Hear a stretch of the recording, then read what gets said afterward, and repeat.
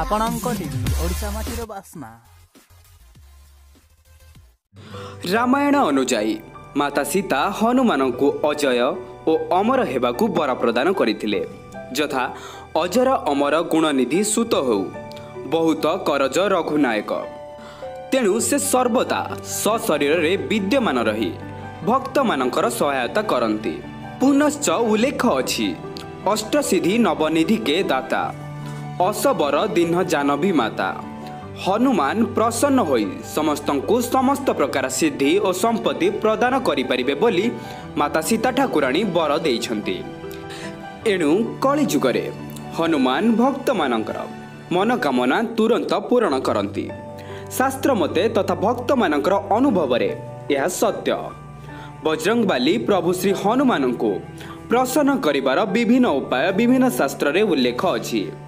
ଭଗବାନ ହନୁମାନଙ୍କ କୃପାରେ ଭକ୍ତଙ୍କର ସକଳ ଦୁଃଖ ଦୂର ହୁଏ ଅଭୀଷ୍ଟ ଫଳ ପ୍ରାପ୍ତ ହୁଏ ବିଭିନ୍ନ ପ୍ରକାର ସଙ୍କଟ ମଧ୍ୟରେ ଅର୍ଥ ସଙ୍କଟ ଅତ୍ୟନ୍ତ ଦୁଃଖଦାୟକ ହନୁମାନ ପ୍ରସନ୍ନ ହେଲେ। ଦୁଃଖ ରୋଗ ଅର୍ଥ ସଙ୍କଟ ଗ୍ରହ ଦଶା ଆଦି ସମସ୍ତ ପ୍ରକାର ବାଧା ଓ କ୍ଲେଶ ନିବାରିତ ହୁଏ ସର୍ବମାନ୍ୟ ଦେବତାମାନଙ୍କ ମଧ୍ୟରେ ହନୁମାନ ସମସ୍ତଙ୍କ ଠାରୁ ଅଳ୍ପରେ ପ୍ରସନ୍ନ ହୁଅନ୍ତି ବୋଲି ଲୋକମାନଙ୍କର ବିଶ୍ୱାସ। ତେବେ ଭିଡ଼ିଓଟି ଯଦି ଆପଣମାନଙ୍କୁ ପସନ୍ଦ ଆସିଥାଏ ଭିଡ଼ିଓଟିକୁ ଲାଇକ୍ କରନ୍ତୁ ସେୟାର କରନ୍ତୁ। କମେଣ୍ଟ ସେକ୍ସନରେ ନିଜର ମତାମତ ଲେଖନ୍ତୁ। ଆଉ ଏପରି ନୂଆ ନୂଆ ଭିଡ଼ିଓସ୍ ଦେଖିବା ଲାଗି ଆମ ଚ୍ୟାନେଲକୁ ସବସ୍କ୍ରାଇବ୍ କରି ପାଖରେ ଥିବା ବେଲ୍ ଆଇକନ୍ଟିକୁ ଦବାଇ ଦିଅନ୍ତୁ। ଯାହାଫଳରେ ଆମେ ଯେବେ ବି କିଛି ନୂଆ ଭିଡ଼ିଓ ଅପଲୋଡ଼ କରିବୁ ଆପଣଙ୍କୁ ତୁରନ୍ତ ହିଁ ନୋଟିଫିକେସନ୍ ମାଧ୍ୟମରେ ଜଣାପଡ଼ିଯିବ।